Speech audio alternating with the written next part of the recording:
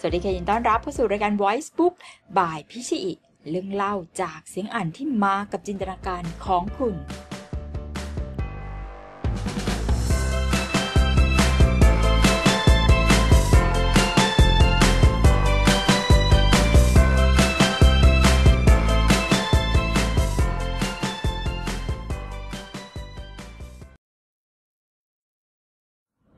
โตโตจัง เด็กหญิงข้างหน้าต่าง ตอนที่ 25 เขียนโดยคุโรยานางิทัสโกะแปลโดย ผุดสดี นาวาวิจิต ตอนเด็กเก่งภาษาอังกฤษ วันนี้มีเด็กใหม่มาเข้าโรงเรียนโทโมเอะเป็นเด็กโต รูปร่างสูงใหญ่กว่าเด็กชั้นประถมทั่วไป โตโตจังคิดว่าน่าจะเป็นนักเรียนชั้นมัธยมมากกว่า เสื้อผ้าที่สวมก็แปลก เหมือนเสื้อผ้าผู้ใหญ่ ตอนเช้า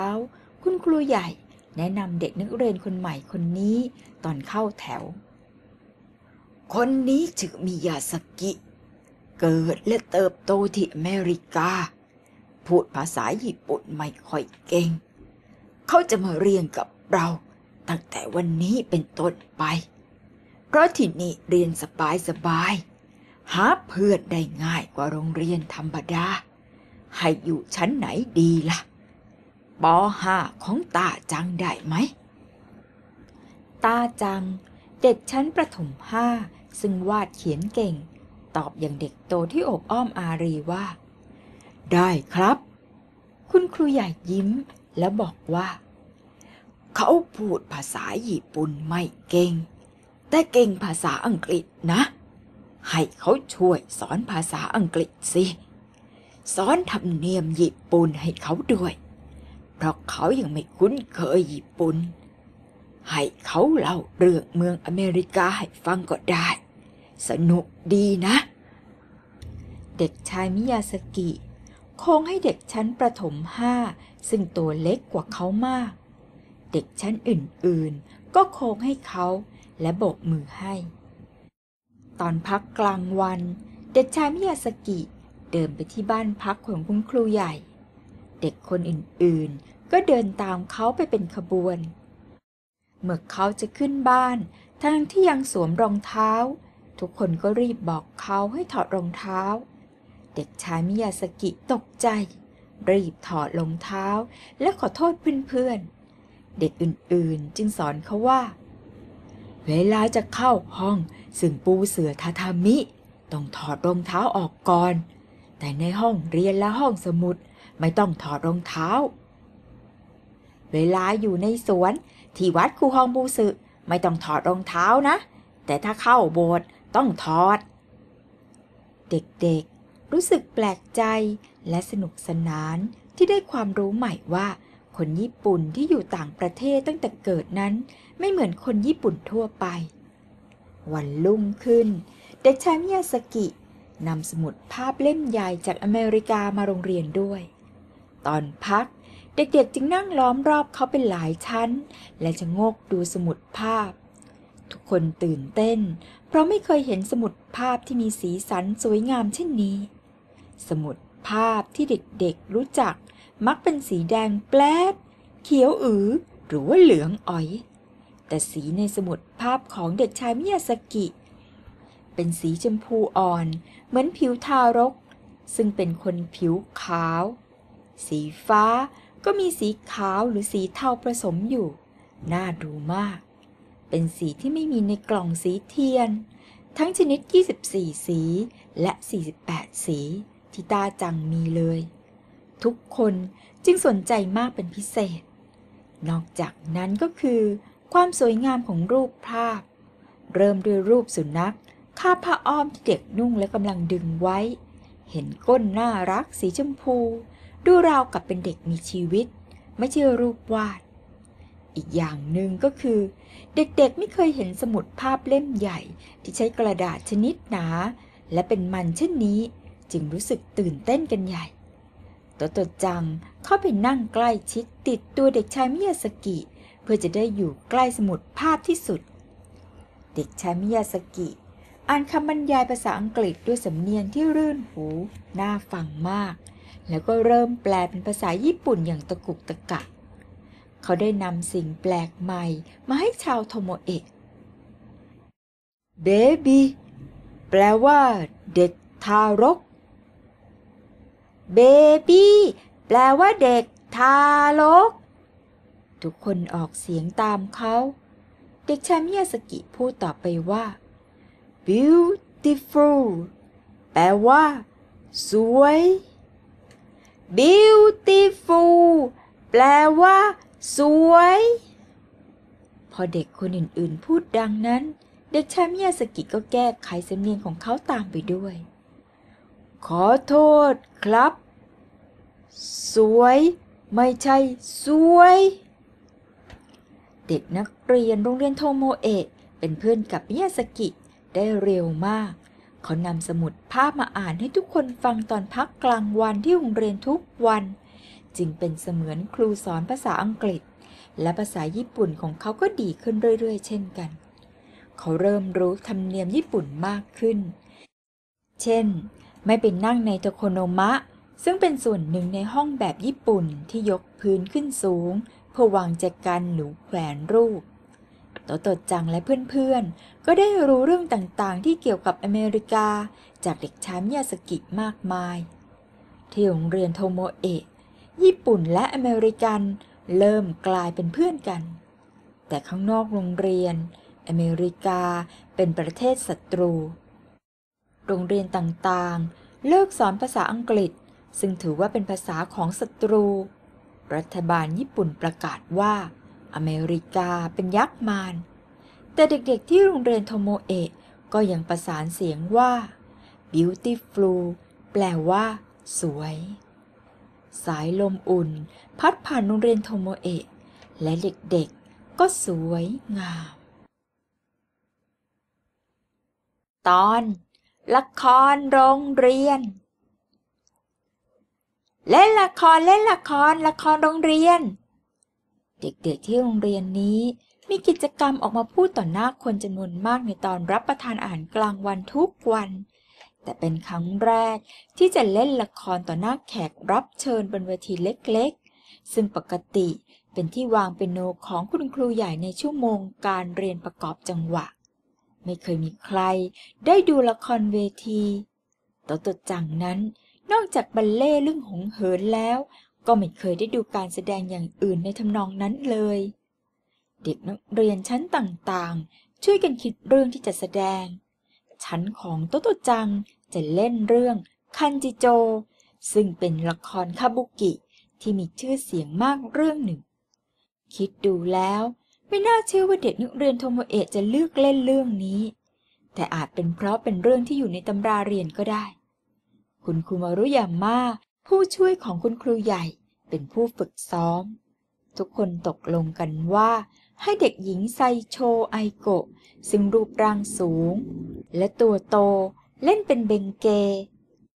เด็กชายอมาเดระ เป็นทงอาชินายทหารหัวหน้าด่านเพราะท่าทางขึงขังและเสียงใหญ่ ส่วนโตโตจังเป็นโยชิสเนะ เด็กคนอื่นๆ เล่นเป็นพระธุดงค์ ก่อนเริ่มซ้อมละคร ทุกคนต้องท่องบทให้ได้ก่อนโตโตจังกับพระธุดงสบายกว่าเพื่อน เพราะไม่มีบทพูด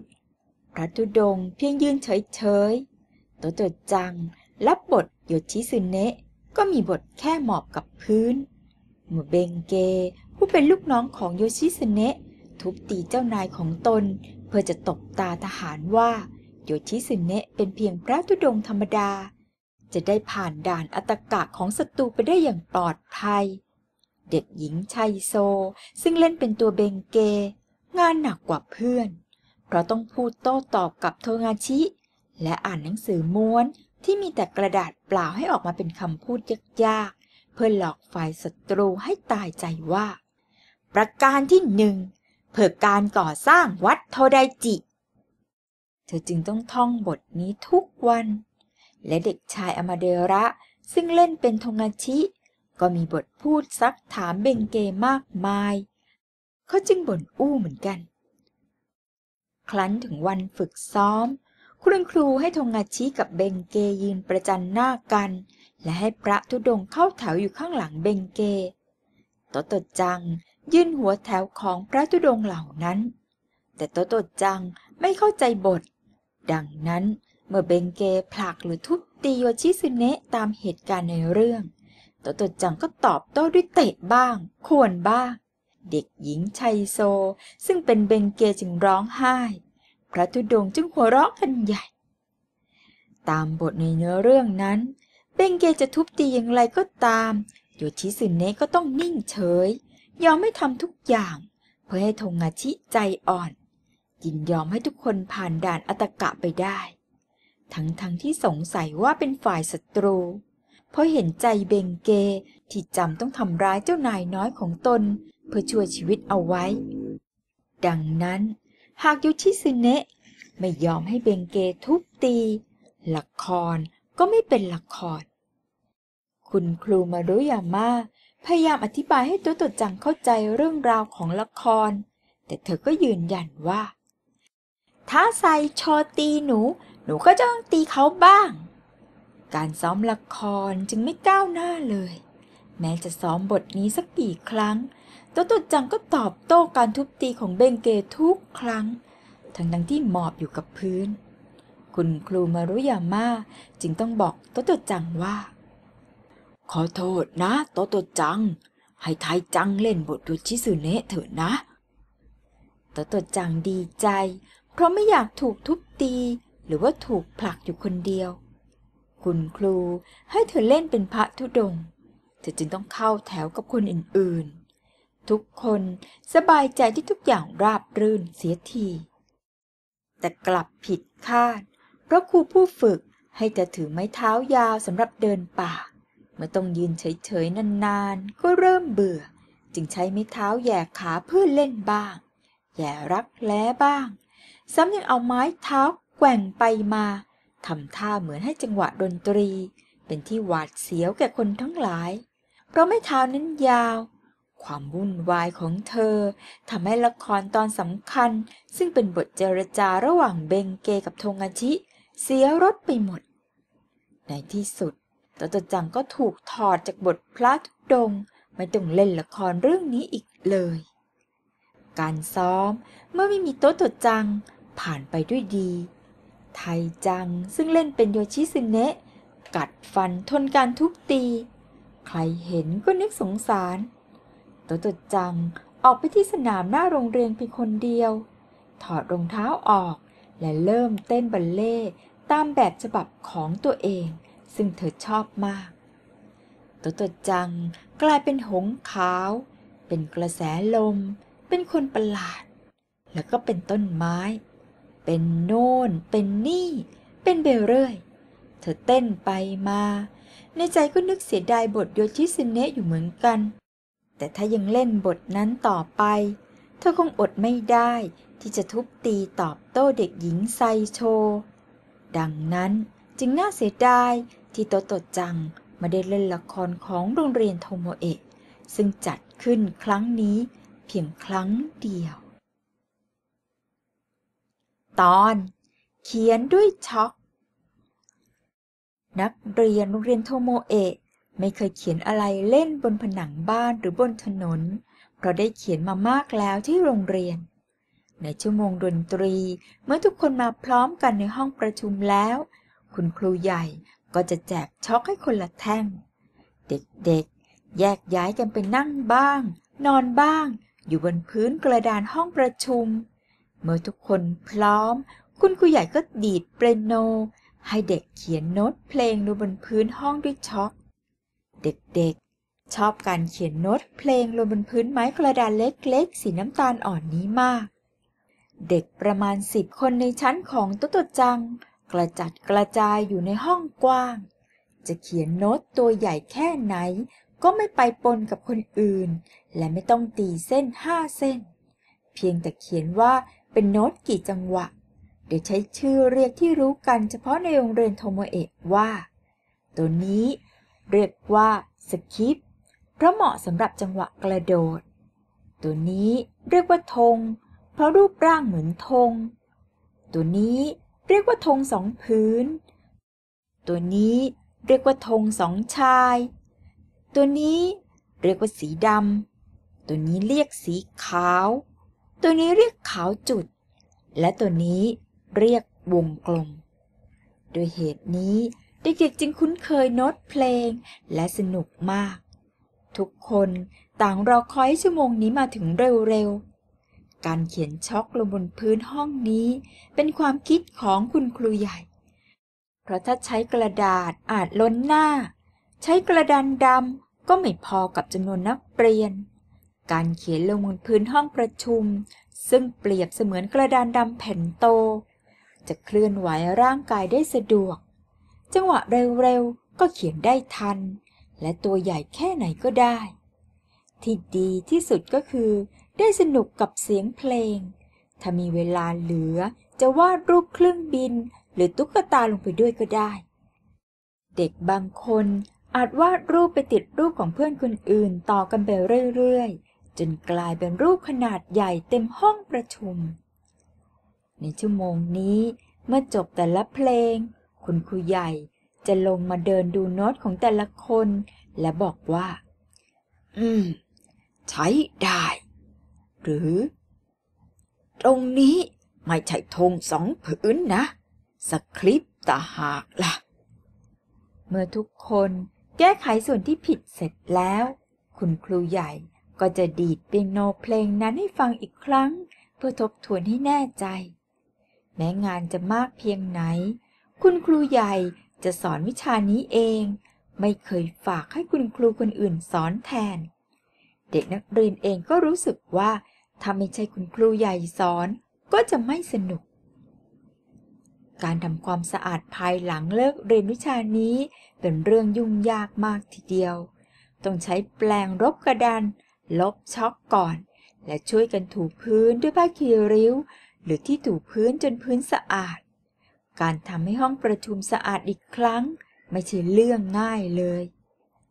นักเรียนโรงเรียนโทโมเอะเข้าใจจากประสบการณ์นี้ดีว่า การเขียนเล่นสกรปรกทำให้เดือดร้อนมากเวลาต้องทำความสะอาด จึงไม่มีใครซุกซนไปเขียนที่ไหน ทุกคน ก็ได้เขียนเล่นสนุกสนานเพียงพอแล้ว ในชั่วโมงดนตรี ซึ่งมีสัปดาห์ละสองครั้ง เด็กนักเรียนโรงเรียนโทโมเอะ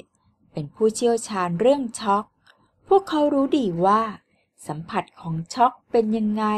หรือจับชอล์กอย่างไร และเขียนยังไงจึงจะดี และรู้วิธีเขียนไม่ให้ช็อกหัก กันโดยทั่วหน้า